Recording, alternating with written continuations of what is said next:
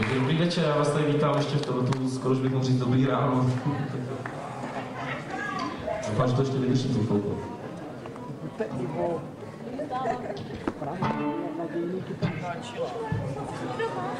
you.